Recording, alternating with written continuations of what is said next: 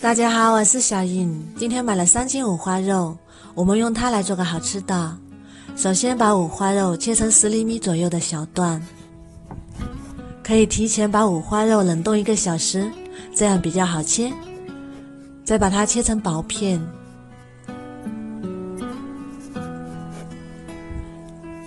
切好之后装入大碗中，然后冷水下锅。加入姜片和葱段，再加一瓶盖白酒去腥。大火烧开之后，把浮沫捞出来不要，然后转中火，再煮十分钟，多煮一会儿能去除五花肉里的油脂，这样吃起来不腻。再把它捞出来，用凉水冲洗，把表面的浮沫清洗干净，然后控干水分，加入两勺生抽。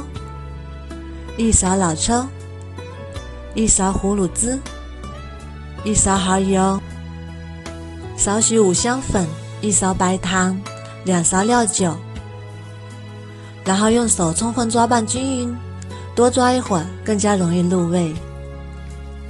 抓均匀之后盖上腌制二十分钟。我们再来准备一点配菜，准备一块酥鸡豆腐切片，也可以用豆腐干。装入碗中备用。再提前准备好香料：八角、桂皮、香叶、干辣椒，再加入姜片和葱段。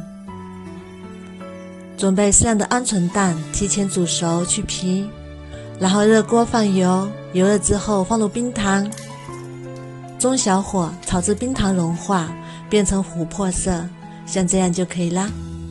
再把香料倒进来翻炒。炒出香味，再把腌好的五花肉和汤汁一起倒进来，翻炒均匀，炒出香味。再加一把黄豆，这样炖出来的肉更加的醇香，同时也更加容易软烂。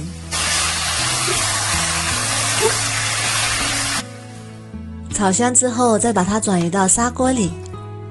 加入开水，没过五花肉，然后盖上，大火烧开之后转小火，先炖十五分钟。时间差不多啦，这个时候的肉就已经熟啦。再把鹌鹑蛋和酥鸡豆腐加进来，用筷子搅拌均匀，然后盖上，再煮十五分钟。时间差不多啦，我们打开看看。哇，好香啊！然后开盖再煮五分钟，收一下汤汁。汤汁收的差不多了，再加点葱花点缀，香喷喷的五花肉就做好啦。经过腌制的五花肉，口感不柴，入口即化，而且香而不腻。豆腐也是充分的吸收了肉的汤汁，非常的入味下饭。别忘了，还有香喷喷的鹌鹑蛋，也是非常的好吃。有肉有蛋，又有豆制品，营养也是非常的丰富，老人和孩子都非常的适合。如果你喜欢，也试试吧。喜欢我的视频就关注我吧，谢谢您的支持。